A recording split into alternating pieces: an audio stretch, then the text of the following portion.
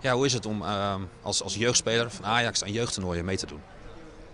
Ja, dat is fantastisch. Eh, je krijgt eh, echt groepsgevoel en eh, ja, het zijn een fantastische sfeer altijd. Je hebt heel mooie teams uit binnen- en buitenland. En ja, het is toch iets waar je zelf ook kan tentoonstellen.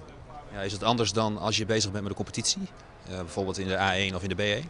Ja, er heerst wel een, een heel andere sfeer. Heel, vriendschappelijke sfeer heb ik altijd het gevoel. Uh, teams uh, verbroederen ook met elkaar, zitten bij elkaar tussen wedstrijden door. En, ja, ik, ik hield er altijd heel erg van. Ja. Het was een beetje in de zomer ook, dus lekker weertje erbij. En, ja, fantastische wedstrijden gespeeld. Ja. Ah, je, krijgt, je speelt natuurlijk ook dat. Ja, dat is, je krijgt er eigenlijk voor het eerst mee te maken. Want in de jeugd in Nederland speelt eigenlijk iedereen wel 4-3-3. En dan krijg je opeens te maken met, met Engelsen en ja, soms wel teams die vaak een veel dynamisch, de, dynamischere eh, speelwijze hebben. En uh, ja, moet je op anticiperen en zo. Ja, leer je ook uh, het buitenland een beetje kennen. Ja, wat zou je tegen jeugdspelers zeggen als ze aan zo'n toernooi mee kunnen doen?